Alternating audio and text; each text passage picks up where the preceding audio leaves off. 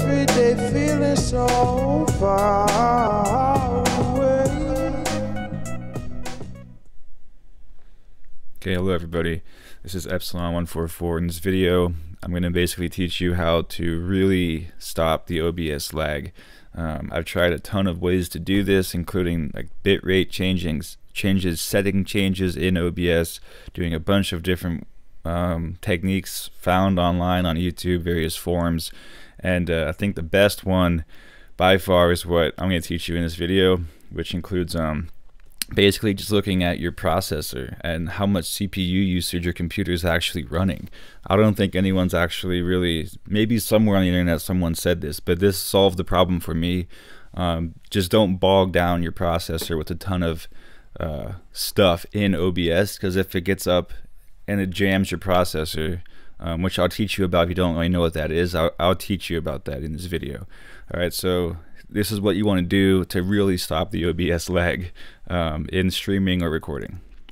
All right, so here in OBS, you're going to see a kind of like mirrored effect of the screen, but that's basically where I'm working. I can make this full screen um, just so it's easier on your eyes.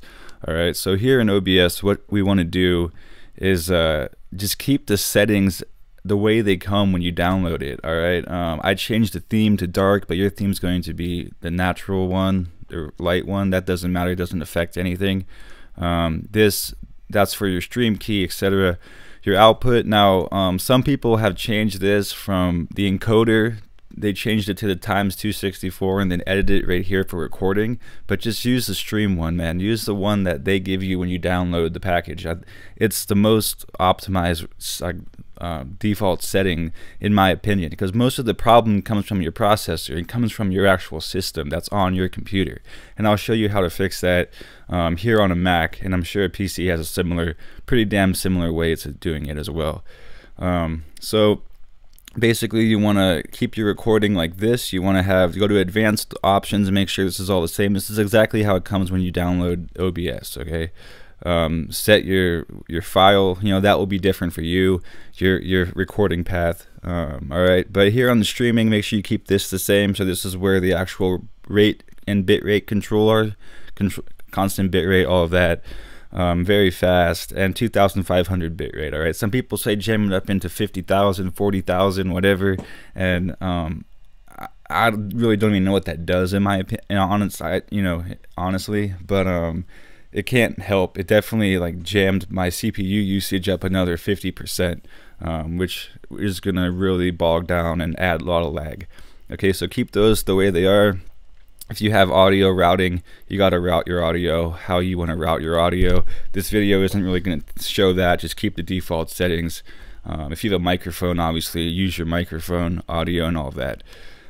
All right, so keep those hotkeys if you want to do hotkeys advanced. Um, you can do 709 color space in a full range for the U, U, YUV color range just to add more color to it. That doesn't really do anything. So that is one thing you can change. All right, so with that done, you haven't really changed anything here in the settings, all right? But the real thing that you want to do now is you want to, if you have a Mac, you want to search for something called an activity monitor, all right? So activity monitor. It's this thing right here, all right? This thing on your Mac is going to scan your Mac and see what CPU usage everything is using, all right? So as you can see here on my Mac, OBS right now, while it's recording and everything's up, is taking 69.5% of my CPU. Now it's at 75%, okay? I also have Ableton Live, which is right here this is taking 15%. All right, so you really have to be careful with this. Um, I know one thing that was screwing up mine was I have these animations. If you look in the corner down there, there's an animation. Um, I'm not actually recording this video with the animation on it right now. I'm adding that in after using um, a video editing software. Like in my case, I'm using iMovie. I'm a noob. Don't hate me for that, but whatever.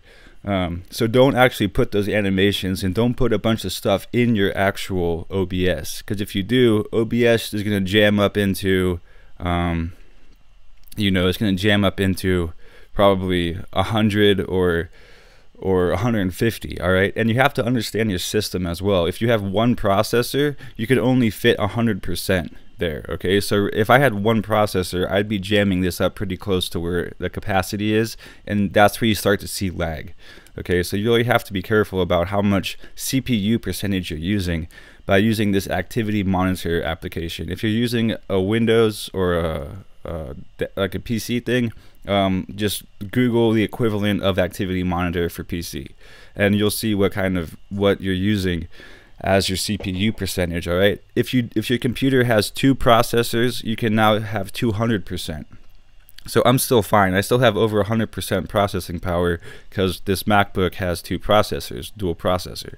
All right, so there's 200% available for me. And you just make sure you have 10% extra. So in my case, I could only jam it up into maybe 185%, 185%, 180% to be really careful. So I have an extra 20% there as, uh, you know, um, wiggle room to be be safe with. All right, so just make sure you don't put a lot of stuff in your OBS. If you stream a game, I'm sure it's gonna really pick it up a lot more because games games take a lot more processing power to run. All right. Um, if you're doing videos like this, just teaching videos or just browsing the web or doing an application or something, you can have your frame rate here in OBS. If you come back to OBS, you can keep your frame rate at 30.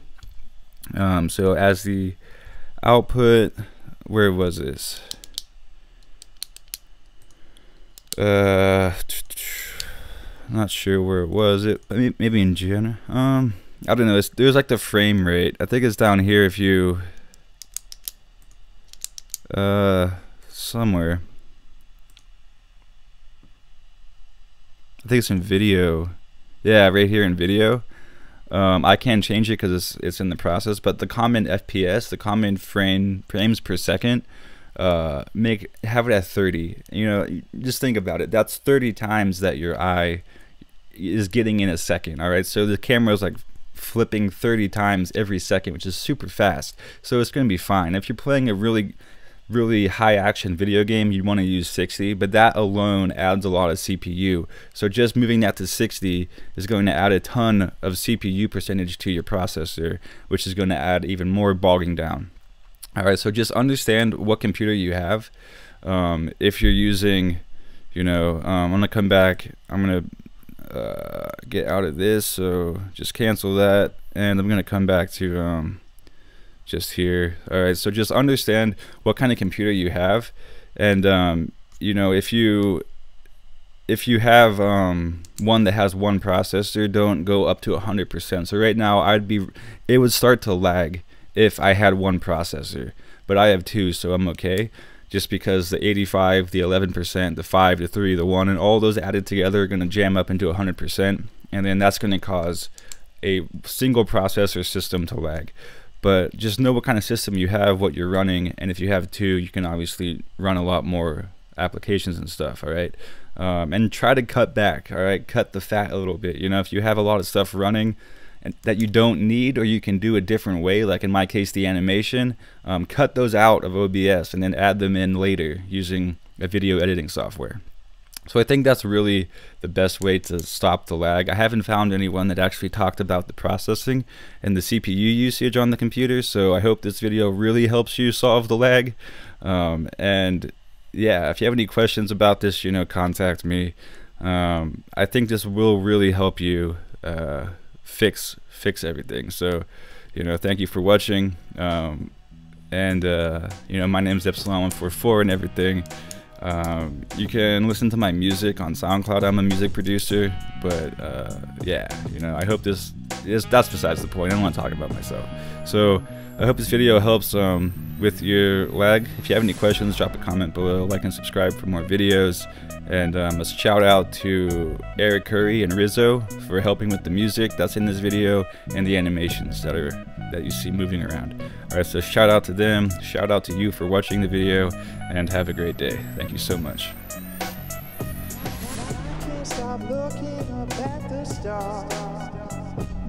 Every day feeling so far